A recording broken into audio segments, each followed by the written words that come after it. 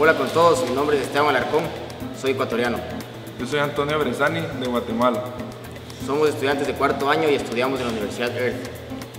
Y hoy vamos a explicarles cómo hacer mermelada de piña en sus hogares. Básicamente la materia prima que se requiere para hacer mermelada es la piña para aportar el sabor, el azúcar para aportar dulzor, la pectina para dar estructura y consistencia al producto. En el caso de que no se obtenga la pectina, existen dos opciones. La primera es aplicar una porción de guayaba o una porción de carambola. Si es que no se obtiene ninguna de estas dos, se puede aplicar nada más la fruta y el azúcar. Sin embargo, la consistencia no va a ser tan sólida como se requiere. Y el equipo que vamos a utilizar va a ser una licuadora, una balanza, en el caso que se tenga, una olla, un cuchillo y una cuchara. Para el resto del proceso también vamos a utilizar eh, la cocina.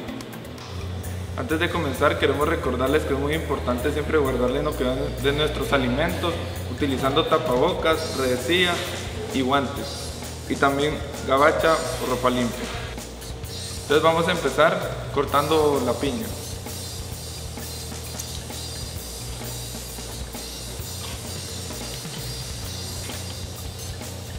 Para este proceso es muy importante quitar ambas bases del producto. A la misma vez es importante quitar la menos cantidad posible de cáscara para tener menos pérdidas en el producto final.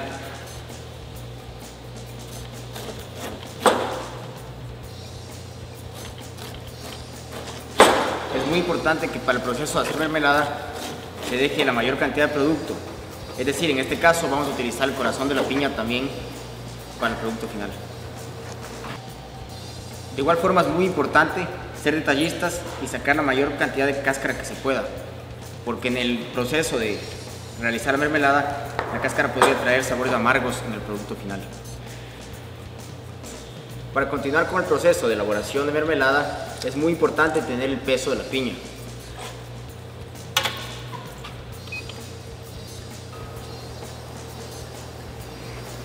En este caso estamos trabajando con aproximadamente un kilo y medio de piña. Por lo tanto, se va a utilizar la misma cantidad para aportar azúcar.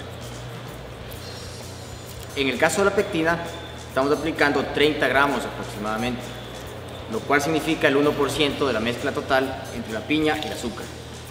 Ahora vamos a seguir con el picado de la piña.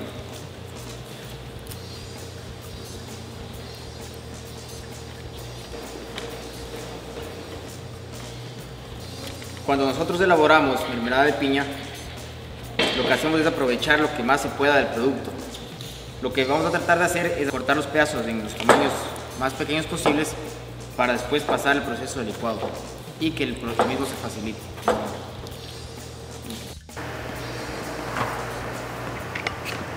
Y ahora empezamos a licuar.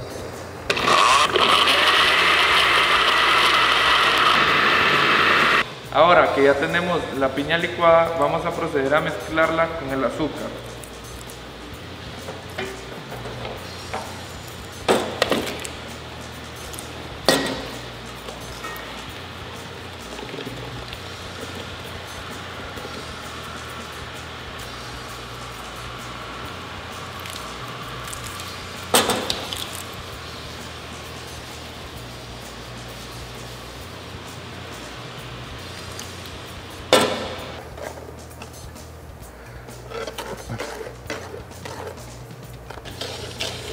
Ahora que ya está lista la mezcla, nos vamos a la cocina.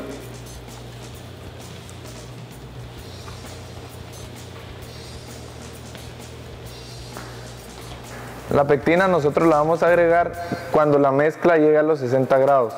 Pero antes de agregar esta pectina, la vamos a mezclar con un poco de azúcar para que no se nos haga grumos en la mezcla.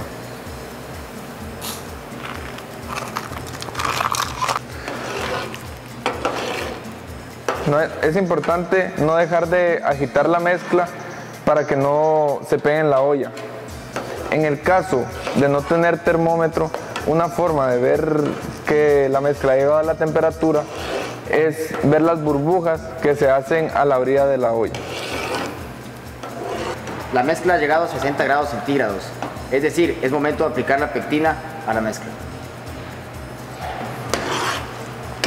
Tratemos de agregarla poco a poco para que se vaya mezclando.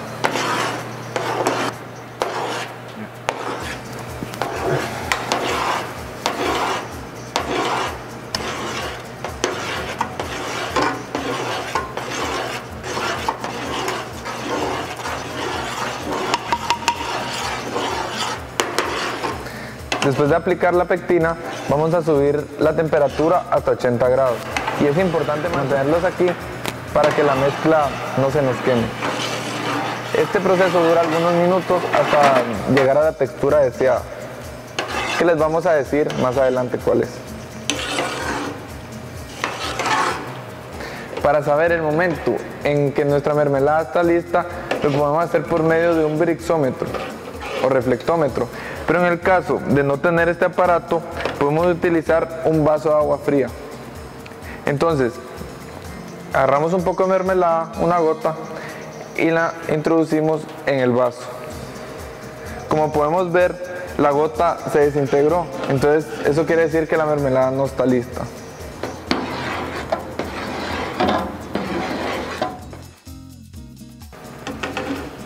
Vamos a hacer una prueba para ver si la mermelada está lista nuevamente.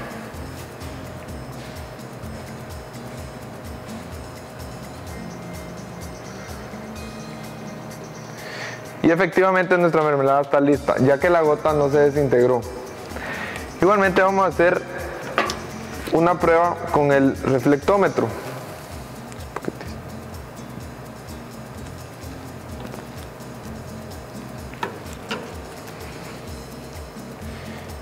Y en estos momentos la, mermelada llegó a los 65 grados Brix. Entonces nuestra mermelada ya está lista.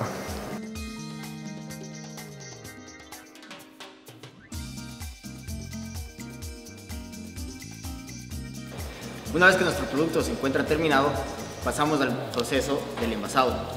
Es muy importante que el producto se mantenga a temperaturas altas para poder realizar el envasado. Inmediatamente trasladamos de esta forma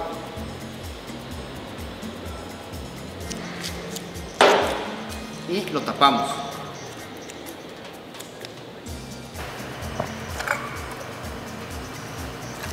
Al momento de que el producto se enfríe dentro del envase, va a crear un efecto de vacío y esto va a permitir que la vida útil del producto sea más larga. Como podemos ver, obtuvimos 6 frascos de 280 gramos más o menos y esto lo obtuvimos de, desde una piña y 1500 gramos de, de azúcar. Como podemos ver, es un proceso muy fácil que todos podemos realizar en nuestras casas y así darle valor agregado y mayor vida útil a, los productos. Muchísimas gracias por su atención. Esperamos que hayan disfrutado este video y que realmente les sea útil para realizar mermeladas en su casa. Y esperamos que esta mermelada les quede aún más deliciosa. Para ver más videos tutoriales pueden visitar nuestro canal. Nos vemos.